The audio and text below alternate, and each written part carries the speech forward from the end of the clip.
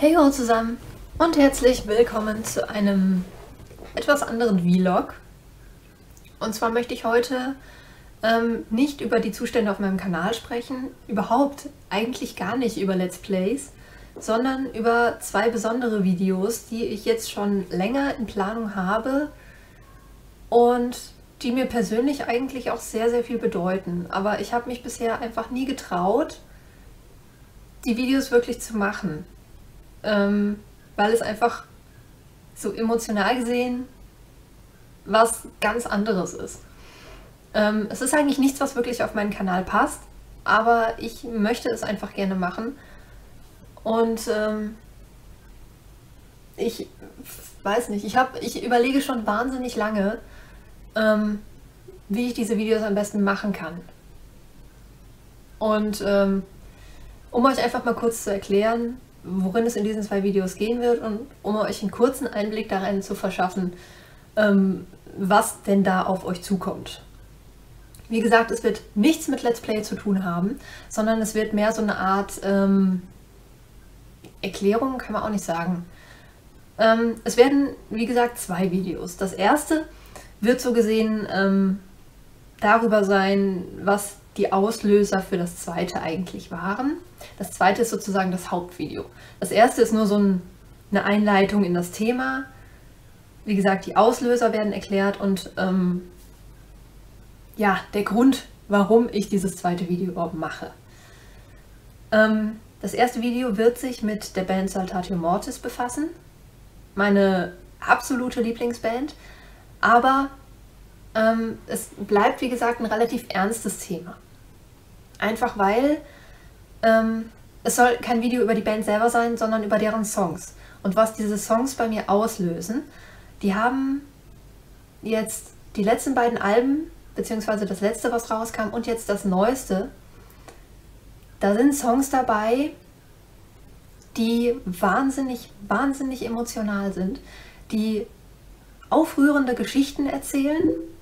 Ich werde euch gleich mal ein paar Songs aufzählen, die allein vom Titel her schon zeigen, ähm, wie ernst sie äh, ihre Songs nehmen und was für ernste Themen sie da auch teilweise besingen. Also, die Aufzählung der verschiedenen Songs, die ich wahrscheinlich ansprechen und oder benutzen werde. Ähm, es wird wahrscheinlich sechs Songs geben, über die ich sprechen werde, wobei drei genau diese Kriegsthematik beinhalten und drei davon eher so ein bisschen zeigen sollen, womit sich die Band beschäftigt und was so das gesellschaftskritische bei ihnen ist. Die ersten, ähm, es gibt zwei Songs, die ich darunter genommen habe, die zu dem neue, neuesten Album gehören, das erst im August rauskommt. Das heißt, davon kann ich momentan nur von der Preview ausgehen, die ich gesehen habe. Aber gerade die hat mir auch schon wahnsinnig die Augen geöffnet. Und ähm, der erste Song, den ich äh, wahrscheinlich ansprechen werde, ist der ähm, mit dem Titel Krieg kennt keine Sieger. Der Titel sagt eigentlich schon, worum es in dem Song geht. Der zweite Song wird Schloss Duvisib sein, ähm, zu dem ich vor allem die Geschichte, die dahinter steckt, meine. Die werde ich euch dann natürlich auch nochmal gesondert erklären. Ähm, der dritte Song, der sich so mit der Kriegsthematik befasst, ist ähm, einer von dem neuen Song, äh, von dem neuen Album und dementsprechend nur in der Preview vorhanden. Der Titel ist Nachts weinen die Soldaten. Auch schon ein sehr emotionaler Titel. Ich werde dieses Wort emotional wahrscheinlich noch öfter benutzen. Dann ähm, drei Songs, die nichts mit dem Thema Krieg zu tun haben. Ähm, beziehungsweise eher was mit der heutigen Gesellschaft und der Kritik, die Saltatio Mortis an dieser Gesellschaft übt. Ähm, erster wäre Früher war alles besser. Auch ein Titel, der eigentlich schon alles über den Song aussagt. Ähm, zweiter wäre wieder einer, der nur in der Preview ist, weil neues Album, nennt sich Augen zu, befasst sich so ein bisschen äh, mit dem Thema, momentan einfach jeder schaut weg, wenn irgendwas ist. Keiner macht irgendwas, keiner steht auf und tut was. Und der letzte, den ich wahrscheinlich ansprechen werde, ist der Song, mit dem die Band einfach mein Herz im Sturm erobert hat. Und wo ich festgelegt habe, ich werde wahrscheinlich diese Band niemals hassen können. Der Song nennt sich Wachstum über alles. Und äh, ich werde in dem Video genauer darauf eingehen. Aber diejenigen, die den Song kennen, wissen wahrscheinlich, warum ich den so wahnsinnig gut finde. Jedenfalls wird es in diesem ersten Video um diese Band gehen. Es soll nicht als Werbung oder Fangehabe gelten, sondern ich möchte damit einfach nur erklären, warum ich überhaupt auf die Idee kam, dieses zweite Video zu machen. Was mich da dazu inspiriert hat, was mich dazu hingetrieben hat. Und das soll auch bitte als solches angesehen werden. Ich möchte nicht, dass es irgendwie als, als Fanvideo an Saltatio Mortis gilt. Das ist es auch nicht. Natürlich, ich bin großer Fan und ich liebe die Songs. Ich finde es wahnsinnig gut, was die Jungs machen. Aber ich möchte mit diesem Video einfach nur aufzeigen, was die Gründe für das zweite Video waren. Nur um euch so ein bisschen eine Einleitung in das Thema zu geben. Ich möchte euch die Musik von denen ein bisschen näher bringen, natürlich.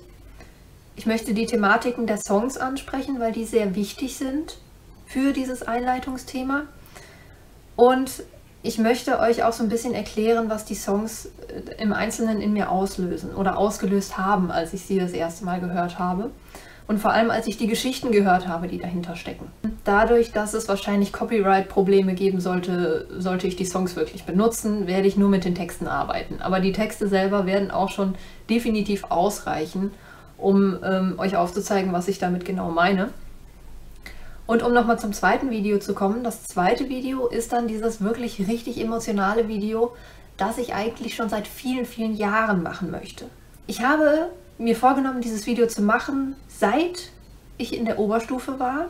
Auslöser dafür war eine Fahrt mit meinem Geschichtsleistungskurs nach Frankreich in die Stadt Verdun, um mir dort die Gedenkstätten des Ersten Weltkriegs anzusehen. Und diese Tage waren unglaublich. Es war mit Abstand die emotionalste Reise, die ich jemals gemacht habe. Ich will einfach der Welt und vor allem denen, die noch nie da waren, zeigen, was da wirklich los war.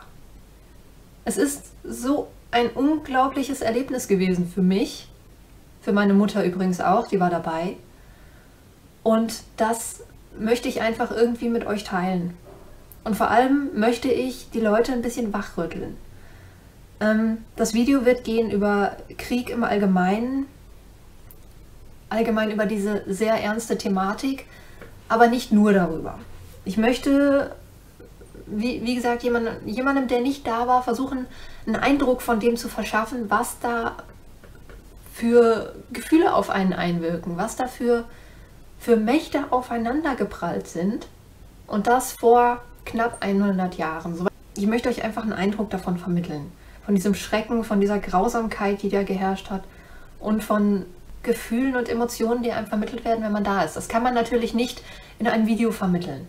Man kann diese Gefühle nicht vermitteln, wenn, wenn ihr selber noch nie da wart. Man muss einfach selber da gewesen sein, um wirklich das alles irgendwie mitfühlen zu können. Aber ich will euch irgendwie einen Eindruck davon verschaffen. Ich glaube, ich wiederhole mich gerade.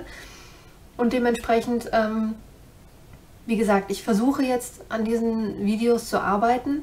Ich habe für das zweite Video in den letzten Wochen schon einiges an Material zusammengesammelt. Und ich weiß, dass ich technisch gesehen die Videos nicht so machen kann, wie ich es gerne möchte.